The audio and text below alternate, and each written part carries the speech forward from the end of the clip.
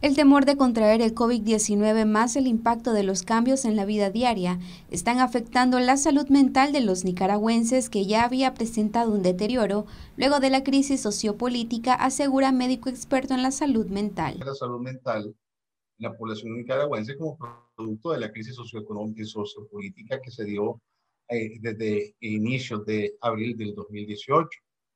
Con el inicio de la pandemia comenzamos a notar la persistencia y el mantenimiento de manifestaciones ansioso-depresivas, el mismo estrés, depresión, las, eh, reacciones eh, de duelo ante la pérdida de muchas personas, un incremento en el consumo de alcohol. Algo que ha sido muy recurrente son los trastornos del sueño, las dificultades para conciliar y mantener el sueño, un aumento en la violencia intrafamiliar y aunque no han sido eh, propiamente reportados, sí nos hemos encontrado con algunos casos de, de, suicidio. No solo en una población específica en Nicaragua, podríamos eh, ya considerar de que existe un enjambre de suicidio.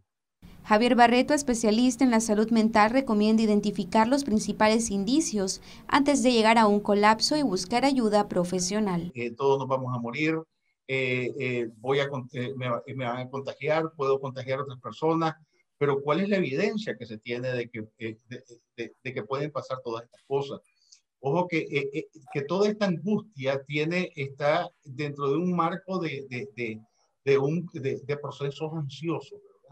Entonces, esto es, esto, esto es un buen ejemplo para que las personas efectivamente busquen ayuda. Y, y, y, cuando digo buscar ayuda es desde el fondo del alma que lo digo. Por, y, es por lo que decías, no, no es que estemos locos, no es que estemos mal de la cabeza, eh, es simple y sencillamente que a lo mejor estamos sobrepasados, nuestra capacidad, nuestras habilidades de respuestas están comprometidas y lo, lo y, es como muy agradable poder contar con un, recurso, en este caso los recursos somos los, los que brindamos primeros auxilios psicológicos en, en, el caso de la pandemia con el científico multidisciplinario o en, en, otros ambientes con un psicólogo o un psiquiatra. Para Noticias 12, Gabriela Solórzano.